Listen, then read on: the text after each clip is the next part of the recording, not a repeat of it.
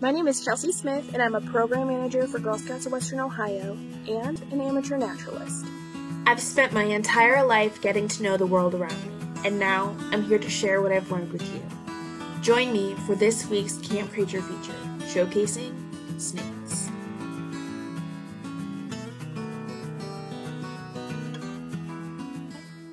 A lot of people are uneasy around snakes, and it's because they don't really know a lot about them, myself included. While I do know some things about snakes, I definitely don't know everything.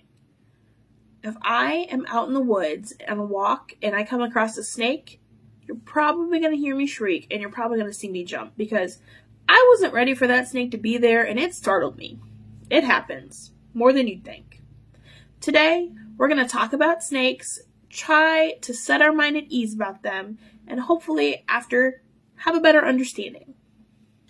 First of all, snakes, along with lizards, turtles, tortoises, and crocodilians, are reptiles. They have bony plates, are cold blooded, and all, with only a couple exceptions, lay eggs. Snakes live on every continent except Antarctica. There are about 3,000 species of snakes. Of that, only 600 are venomous, and only about 7% of those which are venomous can severely wound or kill a person. And in Ohio, only three snakes are venomous. There are 23 non venomous snakes in Ohio. They can be found in a variety of places, including in or near the water, in trees, on the ground, or really wherever they'd like to be. Most snakes are fairly docile and are nearsighted. That makes their sense of smell very important.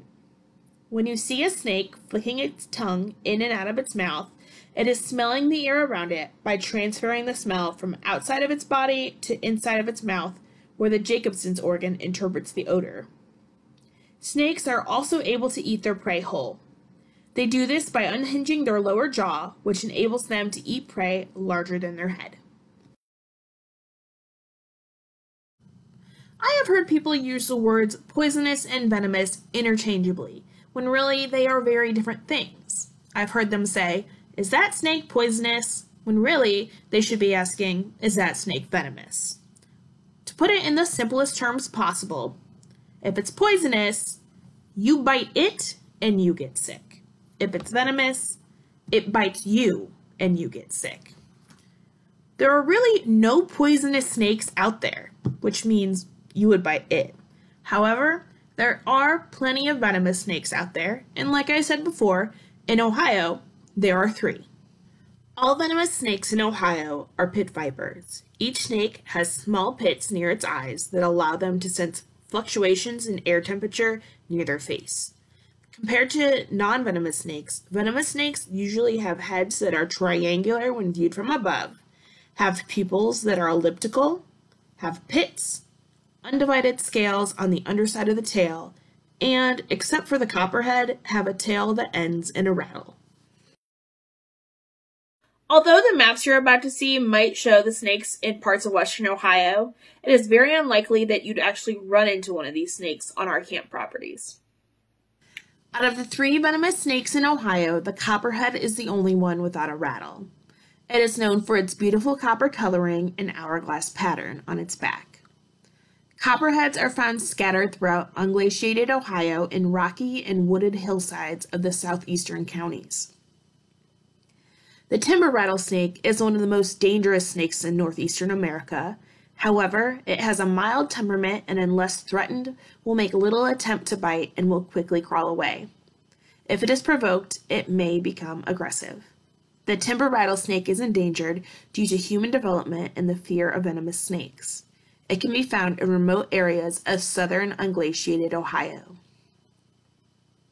The eastern Massasauga is a fairly slow moving snake that, unless thoroughly bothered, will make little attempt to bite. Its venom is highly toxic, however, the bite is hardly ever fatal to a healthy adult.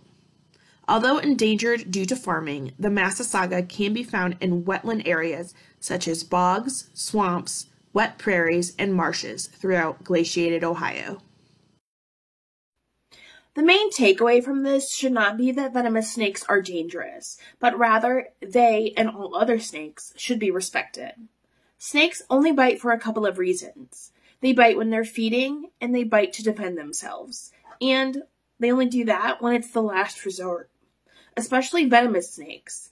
Their venom is precious and they don't want to use it unless they absolutely have to.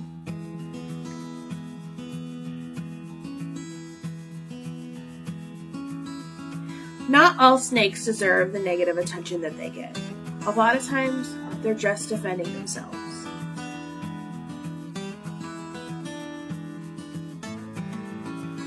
That's all I have for you guys today. I hope you enjoyed this video. I hope to see you guys next time. This is Chelsea signing off. Peace out, Girl Scouts.